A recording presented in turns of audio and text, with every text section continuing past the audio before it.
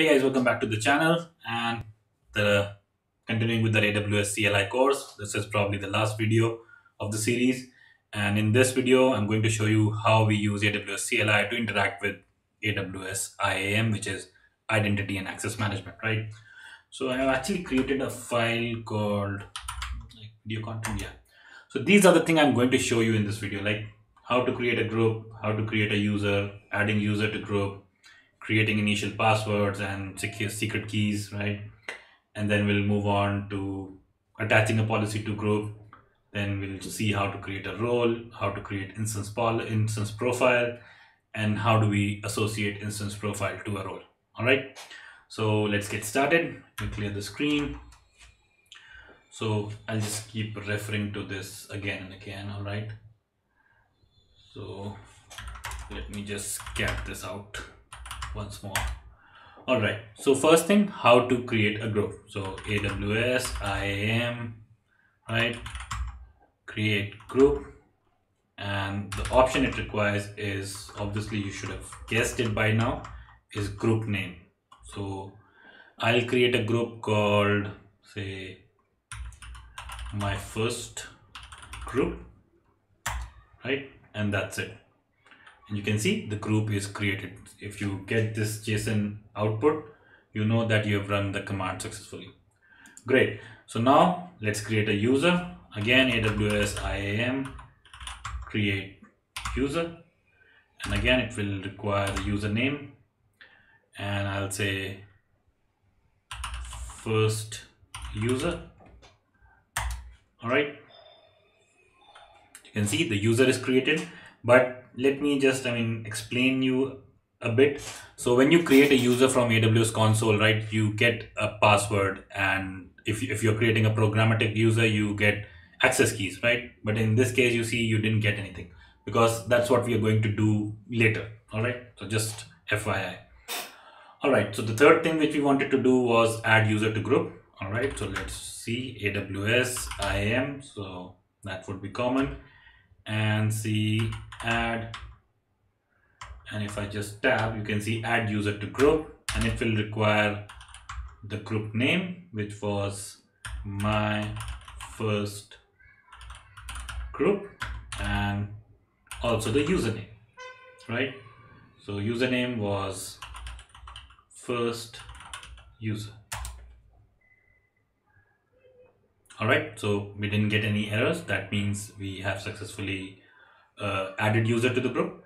Now next thing which we are going to do is create the initial password. So if you are going to create a user who is going to actually log into aws console right ui so you would need username and password. And if you're going to create a user which will only have programmatic access like access keys only right so we are going to create access keys as well. So i'll create both in this case so first let's do aws iam and to create user password is i think create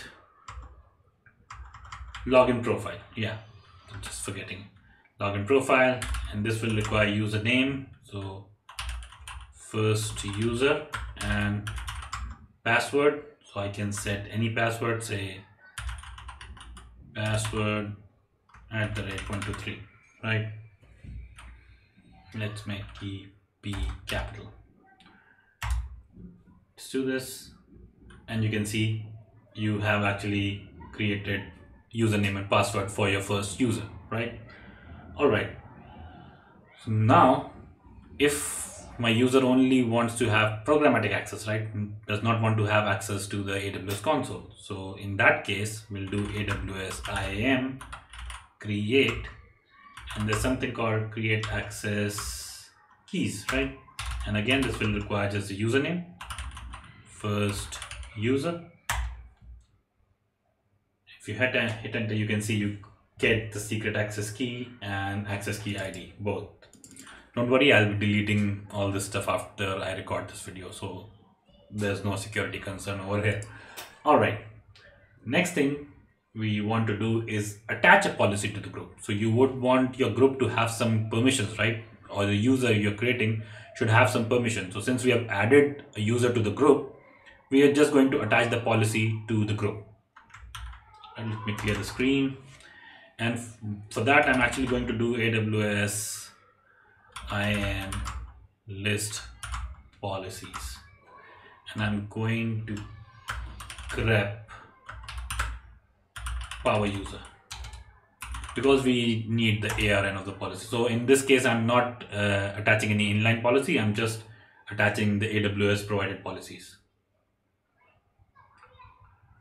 Will take some time and there it is. So there are quite a few policies with power user, but the one I'm looking for is this one, power user access. All right. So now let's attach policy to group. So AWS IAM attach group policy hyphen hyphen group name. Uh, someone is just pinging me. One sec. Right. Group name was my first group and policy ARN would be this the policy which we want to attach right let's hit enter and if we don't get any error we have successfully attached the policy to the group. So now your user first user will actually have the power user access. So power user is the user which has all the access as administrator except the IAM so power user does not have access to IAM all right moving on. So now we move on to roles. So for user this we are done. Now we move on to roles. So let me just get out the file again what we wanted to do. So we wanted to create a role create an instance profile and associate instance profile to a role right? And i think i missed one thing we'll be attaching policy to a role as well right? So that's one thing i've missed. All right so to create a role aws iam create role. And obviously it will take role name as input but it also since I mean okay let's get back. Let me just clear this out let me clear the screen. And I want you to imagine when you what you do when you create role from AWS console right? So you go on to create role from the console. You select the type of role right? So suppose if I want to create an EC2 role or if I want to create a Lambda role right? So you can actually select the service there right? But here you don't have that kind of uh, facility like that Django, right? So to do that, to suppose I want to create an EC2 role, in this video I'll actually be creating an EC2 role. So to do that, you actually have to provide an assumption file, which is basically can, I mean, it's a JSON file which tells the, the role or which tells AWS that this role will actually is going to assume this particular service, right? I think I'm clear. So you by giving that uh, JSON or the trust JSON, you tell the AWS that the role which you're going, going to create is going to assume that particular service.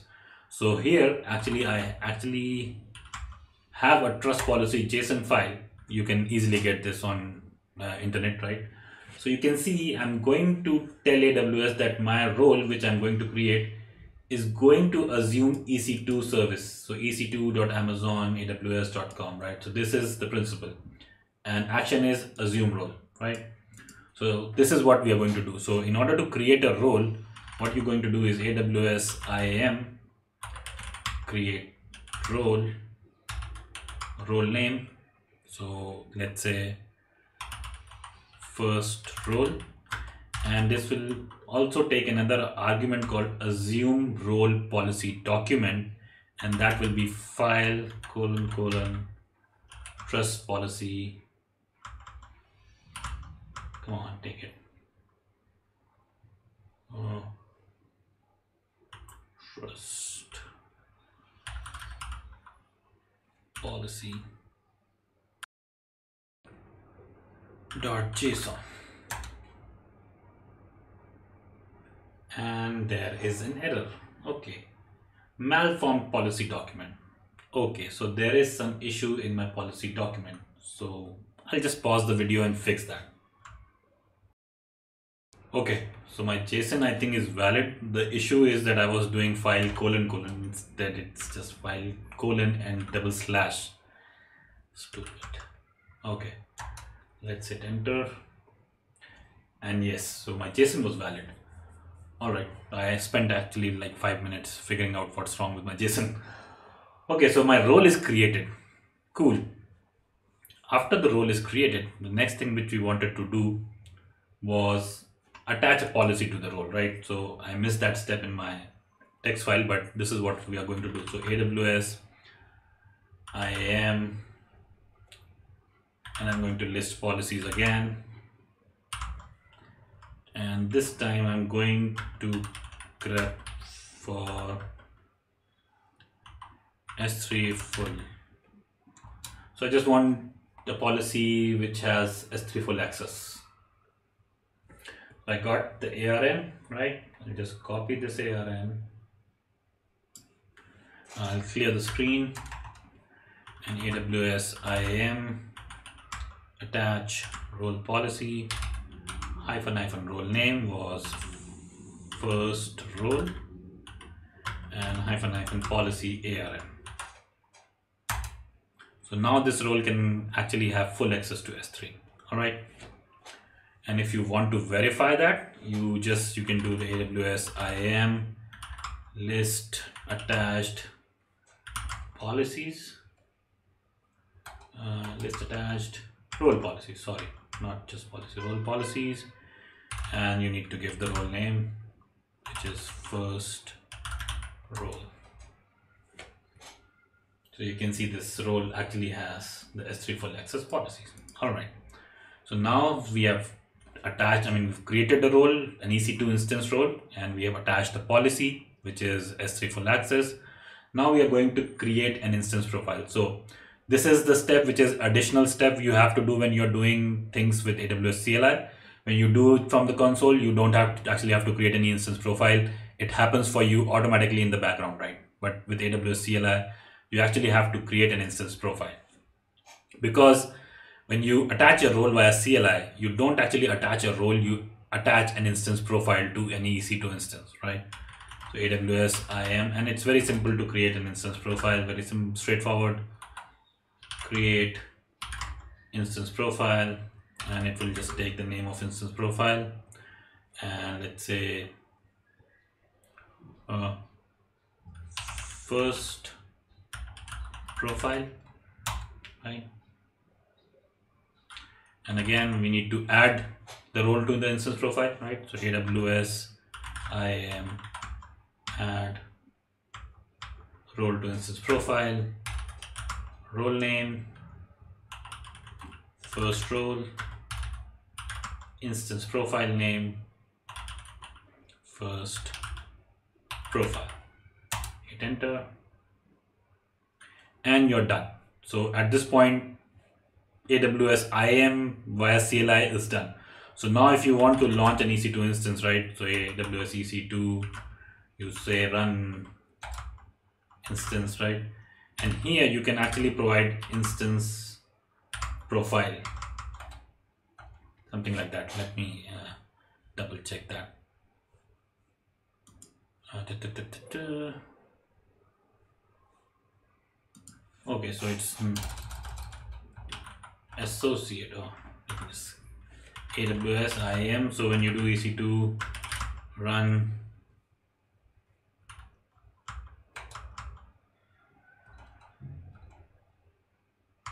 AWS IAM not AWS EC2 sorry.